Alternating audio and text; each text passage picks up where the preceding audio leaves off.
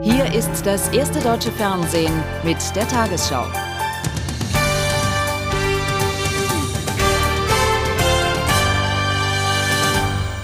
Guten Abend, meine Damen und Herren. Der Nobelpreis für Literatur geht in diesem Jahr an Elfriede Jelinek.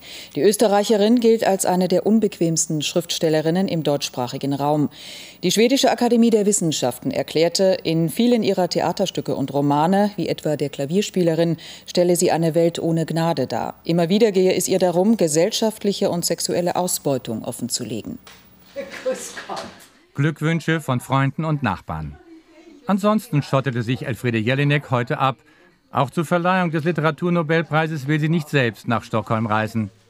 Momentan könne sie sich Menschen nicht aussetzen, sei psychisch zu erschöpft, heute aber natürlich stolz und geehrt. Es gibt ja keinen, keinen größeren Preis. Und dann aber sofort die Angst, dass man jetzt auf eine Weise eine öffentliche, zumindest für eine Zeit lang, eine öffentliche Person wird, die ich nicht sein kann und nicht sein will. Hauptthema der Autorin aus der Steiermark, das Verhältnis Politik und Privatleben, der Machtkampf der Geschlechter.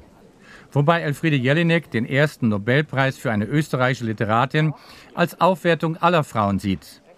Für das Komitee in Stockholm dagegen war ihr Gesamtwerk ausschlaggebend für den musikalischen Fluss von Stimmen und Gegenstimmen in Romanen und Dramen, die mit einzigartiger sprachlicher Leidenschaft die Absurdität und zwingende Macht der sozialen Klischees enthüllen. Fast alle wichtigen Literaturpreise im deutschsprachigen Raum wurden Elfriede Jelinek schon zuerkannt.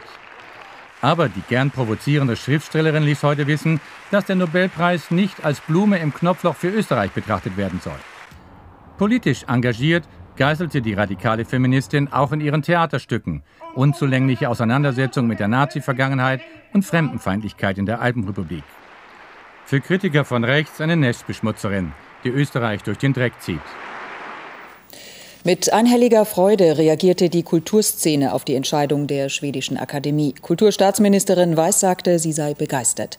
Jelineks Texte seien eine andauernde Herausforderung und gnadenlose Zumutung. Der Intendant der Münchner Kammerspiele, Baumbauer, erklärte, die Ehrung sei umso bedeutender, weil Jelinek in Österreich immer um Akzeptanz gekämpft habe. Bei den Verlagen der Autorin brach Jubel aus. Sektlaune am Robold stand auf der Frankfurter Buchmesse. Die Überraschung war groß, als am Mittag die Meldung eintraf. Schließlich waren dieses Jahr viele Namen für den Literaturnobelpreis genannt worden. Nur nicht der der Österreicherin Elfriede Jelinek. Die provokante Autorin scheut jedoch den Messerummel. Daher warteten viele Journalisten vergebens in Frankfurt. Freude beim Verleger. Alle großen Autoren, alle Autoren auf diesem Niveau, die mit diesem Ernst schreiben, müssen umstrittene sein, müssen auch provozierende sein. Auch beim Berlin Verlag und beim österreichischen Apfelverlag ist die Freude groß. Auch sie haben Bücher der Nobelpreisträgerin im Programm.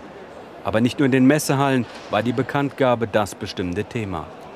Sie ist für mich äh, eine Art Cassandra, also jene antike Seherin, äh, die das Unglück sieht, den Tod sieht und herausschreit und niemand glaubt ihr. Und das ist natürlich ein schrecklicher Zustand. Das, das ist der Zustand dieser Dichterin. Und sie hat uns als Frau sehr viel über die gesellschaftlichen Verhältnisse, über Frauen und Männer gesagt. Keine oder wenige haben so konsequent benannt das Machtverhältnis zwischen Frauen und Männern. An Messeständen wird umdekoriert. Auf der weltgrößten Bücherschau wird die Autorin jedoch nicht erscheinen. Sie bleibt lieber in Wien. Einen ausführlichen Filmbericht zur Preisvergabe an Jelinek bringt das erste heute Abend um 23 Uhr. Die Rechtschreibreform wird in ihren Grundzügen voraussichtlich erhalten bleiben. Das zeichnet sich bei dem zweitägigen Treffen der Ministerpräsidenten der Länder ab, das heute in Berlin begann. Eine Abkehr von der Reform würde eine einstimmige Entscheidung erfordern. Änderungen im Detail sind aber möglich. Die Absicht einiger Großverlage zur alten Schreibweise zurückzukehren, hatte den Streit um die Reform neu angeheizt. Die strahlende Einigkeit täuscht, aber in der Frage der Rechtschreibreform gehen bei den Ministerpräsidenten der Länder die Meinungen nach wie vor weit auseinander. Unüberhörbarer Kritik mit der Forderung nach Rücknahme der Reform steht der Wille gegenüber, an den neuen Schreibregeln festzuhalten. Die Kinder lernen seit sechs Jahren nach dieser Rechtschreibreform. Es macht Sinn, einen Rat für deutsche Sprache zu berufen, der gegebenenfalls zu überprüfen hat, welche Veränderungen es geben soll. Dies ist aber, wie ich finde, nicht Sache der Politik. Der Rat der deutschen Sprache soll nach Meinung vieler Ministerpräsidenten die Reform weiterentwickeln und ihre Fehler beheben. Neben Wissenschaftlern sollen nun auch verstärkt Reformkritiker zu Wort kommen, zum Beispiel Verleger und Schriftsteller. Die Länderchefs rechnen mit einem Kompromiss. Ich gehe davon aus, dass etwa bei der Frage der Groß- und Kleinschreibung, bei der Frage der Zusammenschreibung, bei der Frage der Interpunktion erheblicher Korrekturbedarf besteht. Ich habe nie einen Hehl daraus gemacht, dass ich die neue Rechtschreibung für in vielen Punkten fehlerhaft ansehe. Und vor dem Hintergrund hoffe ich, dass es gelingt, eine Lösung zu finden. Ich selber bin ja ein leidenschaftlicher Anhänger, Anhänger bewährter Rechtschreibung, ein Gegner der neuen Rechtschreibung. Aber da muss man dann auch anerkennen, aufgrund der vielen Gespräche der letzten Wochen, dass ein Zurück zur alten Rechtschreibung nicht mehrheitsfähig ist. Und hier gilt ja das Einstimmigkeitsprinzip. Das heißt, jeder Einzelne könnte sich querlegen. Und dass alle 16 für die alte Rechtschreibung sind, das Ergebnis konnte ich nicht erzielen. Das ist wahr. Große deutsche Zeitungsverlage haben sich in den letzten Wochen demonstrativ zur alten Rechtschreibung bekannt. Morgen Vormittag wollen die Ministerpräsidenten die Suche nach einer Lösung fortsetzen. Knapp vier Wochen vor der Präsidentenwahl in den USA hat die Regierung den Irakkrieg erneut gerechtfertigt. Auch nach dem Bericht von US-Waffeninspekteur Dulfer verteidigte Präsident Bush seinen Kurs, das Saddam-Regime sei gefährlich gewesen. Sein Herausforderer Kerry hingegen sprach von Beweisen für eine falsche Politik. In dem Bericht hieß es, der Irak habe immer nach Massenvernichtungswaffen gestrebt, zu Kriegsbeginn aber keine gehabt. Die Schlagzeilen von Los Angeles bis Washington lauteten ähnlich. Es gab keine Massenvernichtungswaffen im Irak. In seinem Abschlussbericht kam der Regierungsbeauftragte Charles Dolfer zu einem eindeutigen Urteil. Wir können nicht mit Gewissheit sagen, ob Material zur Herstellung von Massenvernichtungswaffen aus dem Irak herausgebracht wurde. Und wir wissen nicht genau, ob er noch Lager hatte. Aber mein Urteil lautet, es gab keine. Außerdem gäbe es keine Hinweise, dass Saddam Hussein vor dem Irakkrieg aktiv an einem Waffenprogramm gearbeitet habe. Dennoch beharrte der Präsident heute auf der Rechtmäßigkeit des Krieges. Der Dolfer-Report zeigt, dass Saddam systematisch das System ausgespielt hat. Er wollte das Öl für Lebensmittelprogramm nutzen, um die Sanktionen zu unterlaufen.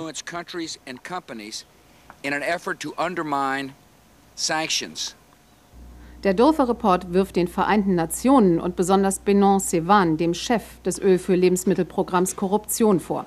Politiker verschiedener Regierungen, darunter Russland und Frankreich, seien von Saddam Hussein mit Ölversprechungen bestochen worden, um die Sanktionen zu lockern. Jetzt hat es die Regierung sogar schriftlich, Saddam Hussein war keine akute Bedrohung. Aber Fehler werden nicht eingestanden. Stattdessen spricht man lieber über die Korruptionsvorwürfe. John Kerry und George Bush bereiten sich derzeit auf ihre zweite Debatte morgen Abend vor. Der Präsident kann sich auf weitere kritische Fragen zum Irak gefasst machen.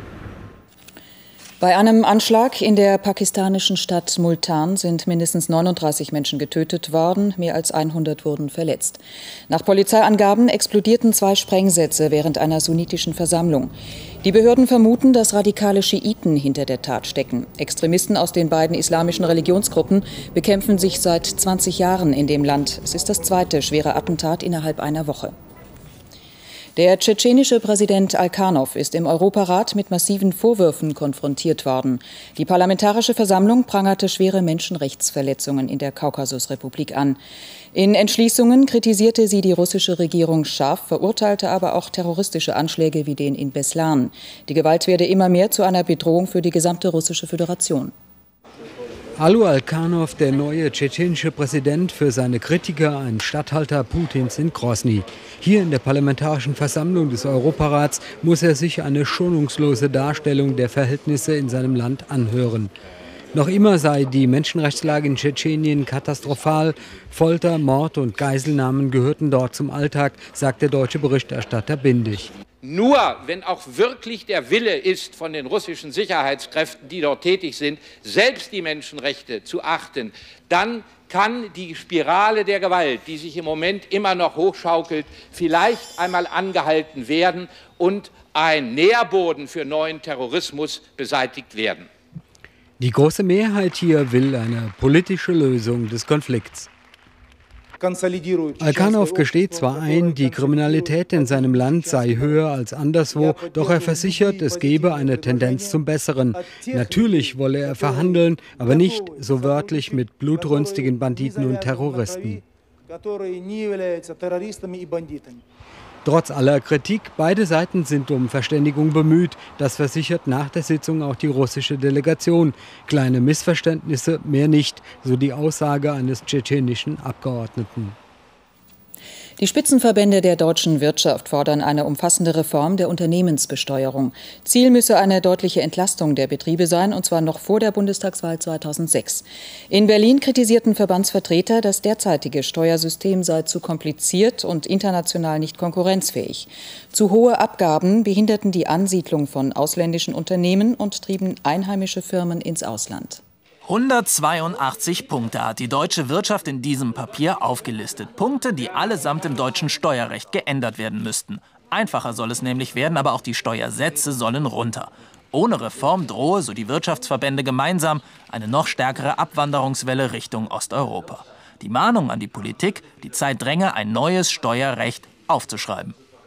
Wir können uns jetzt nicht zurücklehnen. Es sind noch fast zwei Jahre bis zur nächsten Bundestagswahl. Und wir fragen immer wieder den Finanzminister, was treibst du eigentlich in deinem Haus, außer über neue Steuererhöhungen nachzudenken? Diese Kritik trägt er natürlich mit. CDU-Finanzexperte Merz unterstützte deshalb heute die Forderungen der Wirtschaftsverbände. Wenn wir das komplizierteste Steuersystem der Welt haben, dann ist es völlig unabhängig von der Höhe der Steuersätze ein erheblicher Standortnachteil. Die Unternehmen brauchen vor allen Dingen ein transparentes und einfaches System. Das rief natürlich den Finanzminister auf den Plan. Die Wirtschaft habe wenig Grund zur Klage, sie sei doch bereits entlastet worden und für mehr sei einfach kein Spielraum.